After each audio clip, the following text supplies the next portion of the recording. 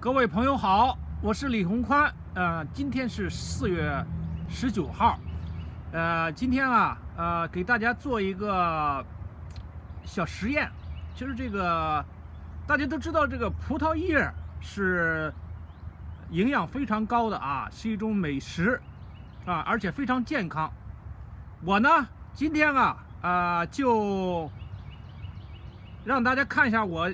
后院的一种葡萄啊，这是其中的一个葡萄，这个葡萄应该是玫瑰香啊，看到吧？呃，由于啊没有顾上剪枝啊，没有没有来得及，呃，所以它现在已经太晚了。葡萄看到了吗？哎，葡萄已经开始抽穗儿啊，这葡萄都看到了。呃，理论上我应该可以吃这个嫩芽啊，就是这个包括这个葡萄，这个啊，应该把它可以吃掉。但是呢。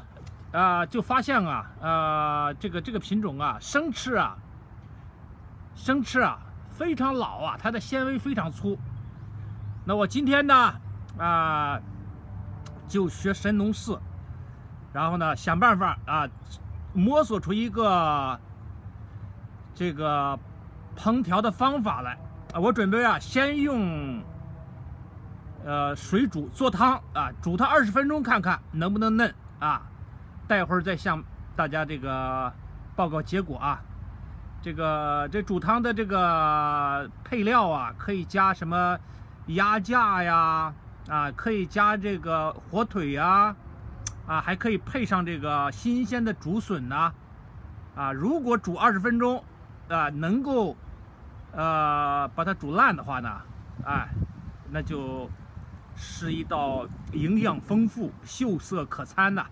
颜色非常好啊，味道很好，只是口感太粗糙，纤维太硬。谢谢大家，再见。